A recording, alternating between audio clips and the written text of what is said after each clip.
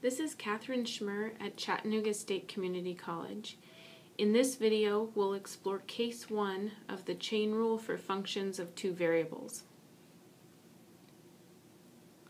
In Calculus 1, you learned that if y equals f of x and x equals g of t, then dy dt equals dy dx times dx dt. You may have learned this as if y equals f of u, then y prime equals f prime u times u prime. In other words, if y is a composite function, we're essentially taking the derivative of the outside function times the derivative of the inside function.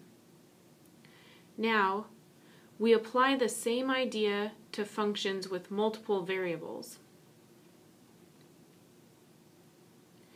If z equals f of xy, x equals g of t, and y equals h of t, then dz dt equals partial f partial x times dx dt plus partial f partial y times dy dt.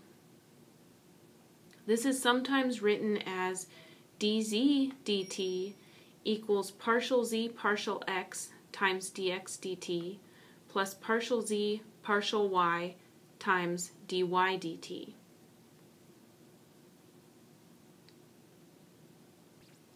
Notice that f and z are interchangeable. Example, use the chain rule to find dz dt where z equals inverse tangent of y over x, x equals the natural log of t, and y equals cosine of t. Looking back at our chain rule definition, first we need to find partial z partial x and partial z partial y.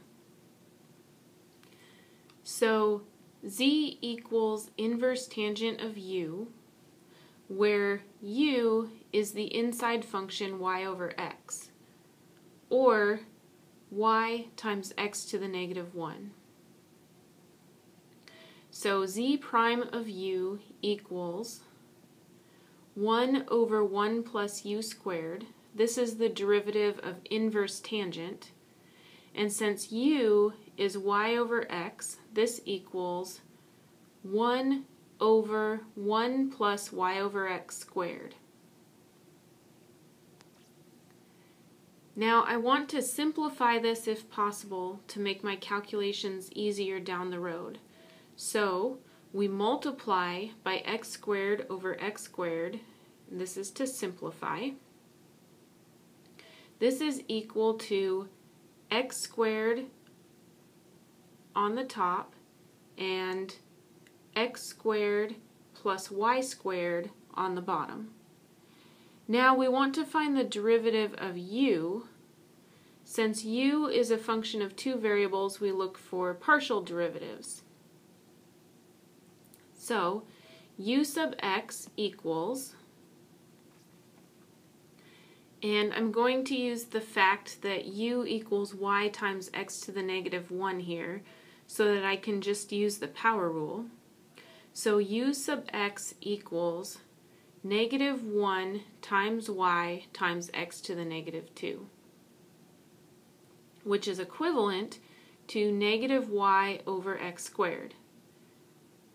Now we need to find u sub y. Again, u equals y times x to the negative 1 and x to the negative 1 would be a constant multiple here. So u sub y equals x to the negative 1, which can be written as 1 over x. So partial z partial x equals z prime u times u sub x and this is just the Calc 1 idea of the chain rule so far. We haven't even gotten into our Calc 3 definition yet. So partial z partial x equals x squared over x squared plus y squared times negative y over x squared. Notice that the x squared factor in the numerator and denominator cancel, so we have negative y over x squared plus y squared. Now, x equals the natural log of t, and y equals cosine of t. We need to plug these in for the x and y variables in our expression. So partial z partial t is, I'm sorry, partial z partial x is negative cosine of t over natural log of t quantity squared plus cosine squared t. Now we need to do the same for partial z partial y. This is equal to z prime u times u sub y. And this equals x squared over x squared plus y squared times 1 over x. The x factor in the denominator cancels one of the x factors in the numerator, so we have x over x squared plus y squared. Now we plug in natural log of t for x and cosine of t for y, and we get natural log of t over natural log of t quantity squared plus cosine squared of t. So this is great. We've found partial z partial x and partial z partial y, but we are actually looking for dz dt. Remember from our definition that dz dt equals partial z partial x times dx dt plus partial z partial y times dy dt.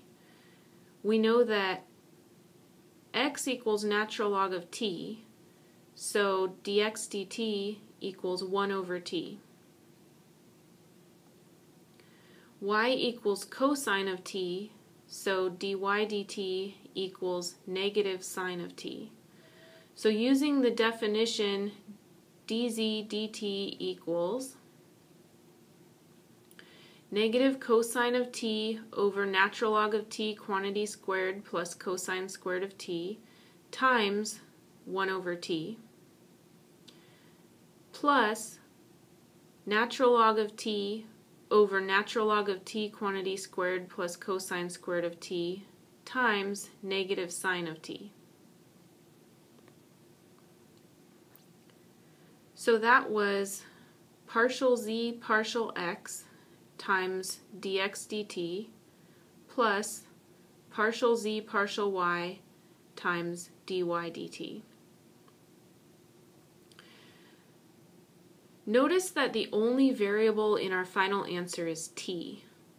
We replaced all of the x and y variables with their t functions so that we end up with a single variable answer. When you're applying the chain rule, just be sure to break it down and do it in steps, like we did in this video.